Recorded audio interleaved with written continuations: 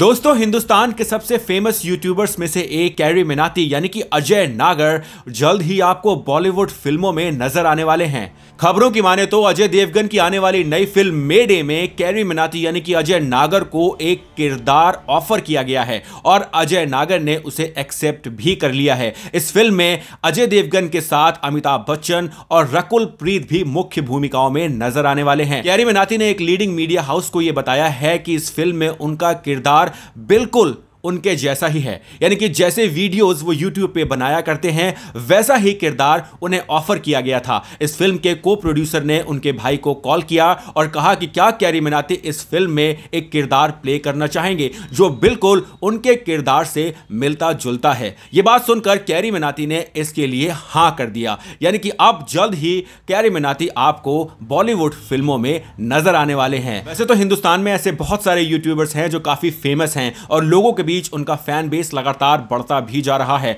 पर कैरी मिनाती की अपनी एक अलग जगह है। कैरी मिनाती वही है जिन्होंने टिकटॉक के ऊपर एक वीडियो बनाई थी, जिसे कुछ ही घंटों में मिलियंस ऑफ़ व्यूज़ मिल चुके थे। अगर यूट्यूब से वो वीडियो हटाई नहीं जाती तो वो अब तक की यूट्यूब की सबसे ज़्यादा पॉपुलर वीडियोस में से एक होती। अनफॉर्चुनेटली उस वीडियो को हटा दिया गया क्योंकि उसमें कुछ अब्यूजिव लैंग्वेज का इस्तेमाल किया गया था। अब देखने वाली बात यह है कि कैरी मनाती जितने फ़ेमस यूट्यूब पर हैं, क्या वो उतने ही फ़ेमस बॉलीवुड में भी हो पाएँगे? कहीं ऐसा तो नहीं कि बॉलीवुड में जाने के बाद उनका चार्म यूट्यूब पर भी खत्म हो जाएगा। इसके बारे में आपकी क्या राय है? अगर आप सोचते हैं कि कैरी मिनाटी यूट्यूब पे बहुत फ़ेमस हैं और बॉलीवुड में भी वो फ़ेमस होंगे तो लाइक ज़रूर कीजिएगा इस वीडियो को। अगर आपको ऐसा लगता है कि दोनों ही फ़ील्ड में वो फ़ेमस नहीं हो सकते हैं तो शेयर कीजिएगा इस वीडियो को। अगर आपको ऐसा लगता है कि कैरी मिनाती बॉलीवुड इंडस्ट्री में आने वाले समय में सबसे फ़ेमस यूट्यूबर बन जाएँगे और यूट्यूब को छोड़ देंगे तो कमेंट ज़रूर कीजिएगा।